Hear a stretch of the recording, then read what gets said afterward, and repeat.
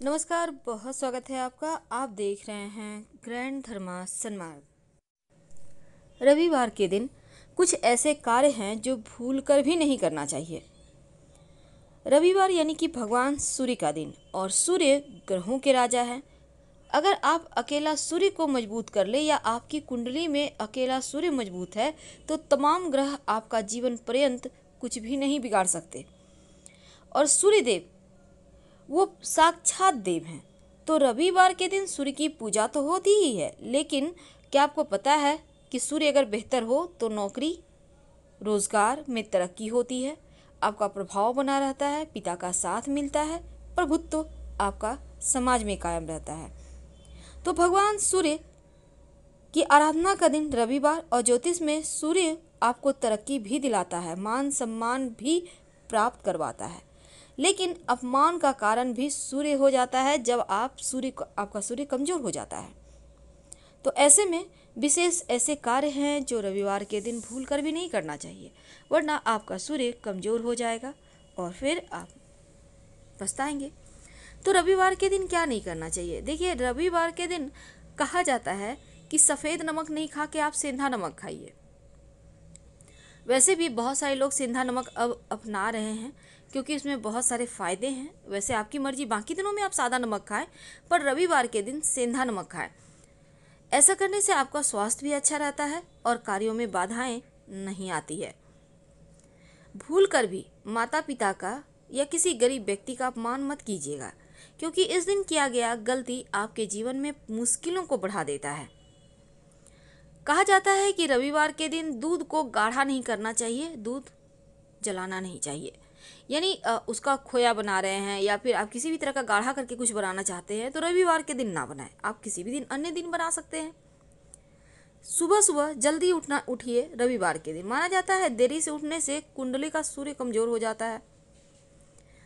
सरसों का तेल का सेवन ना करें अगर आप चाहते हैं कि आपको सरकारी नौकरी मिले या आप चाहते हैं कि आपका समाज में सम्मान बढ़े, सरसों का तेल रविवार को मत खाइए। आप सादा तेल, रिफाइंड तेल होता है ना, आप वो सब खा सकते हैं। खाना बनाने में भी यूज़ करें, कोई दिक्कत नहीं है।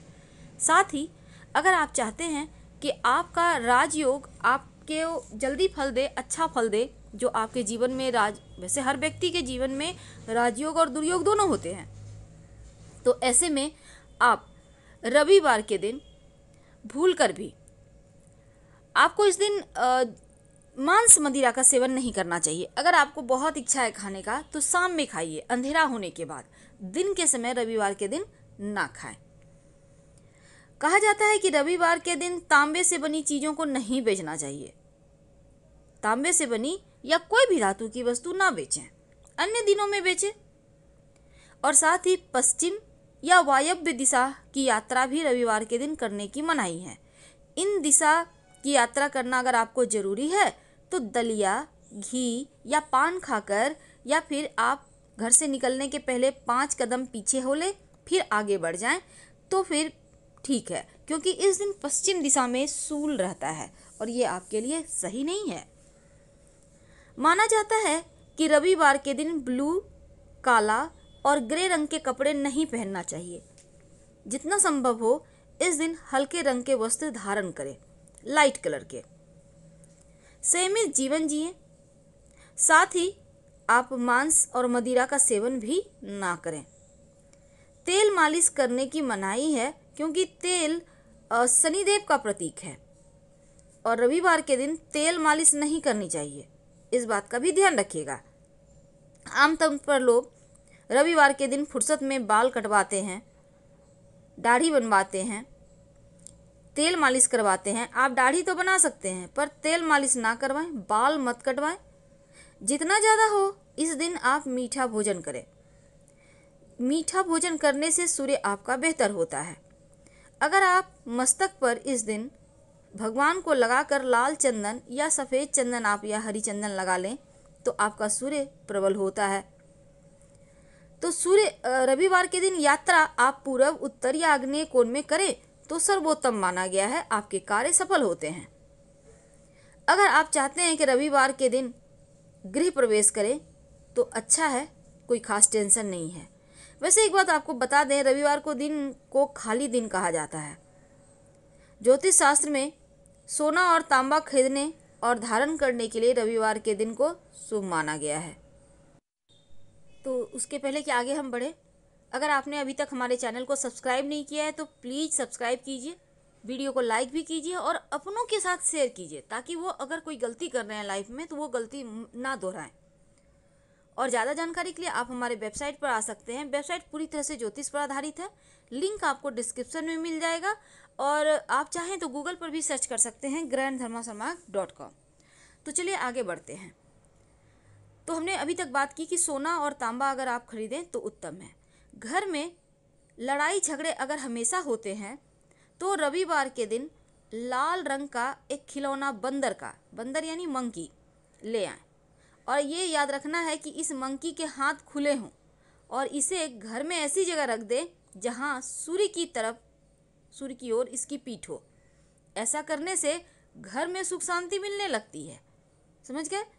खिलौना लाना है लाल रंग के एक बंदर का और सूर्य की तरफ़ पीठ, यानी पूरब साइड उसकी पीठ होगी। तो ऐसा करने से घर में सुख शांति आती है, झगड़े, लड़ाई नहीं होते।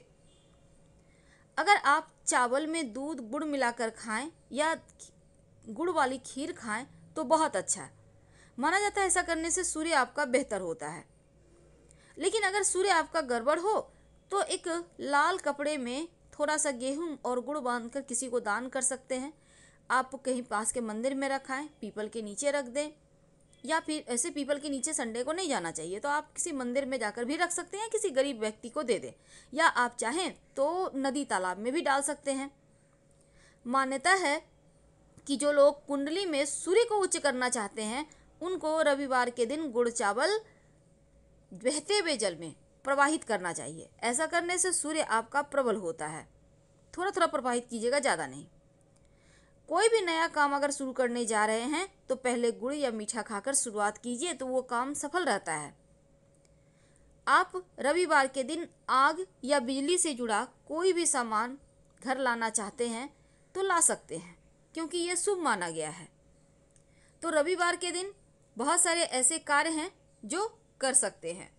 लेकिन क्या ना खाएँ। इस दिन मसूर की दाल नहीं खानी चाहिए, लाल मसूर की दाल। लाल साग भी नहीं खाना चाहिए। आप चाहें तो कोई भी साग रविवार के दिन ना खाएँ। मछली भूल कर भी रविवार के दिन मत खाइए। तो सीधे सरल शब्दों में, अदरक, सरसों का तेल, सफ़ेद नमक, मछली, मसूर की दाल और साग। कम से कम इन चीज़ों का त्याग कर दें रविवार के दिन तो सर्वोत्तम होगा। फ़िलहाल आपसे विदा लेते हैं।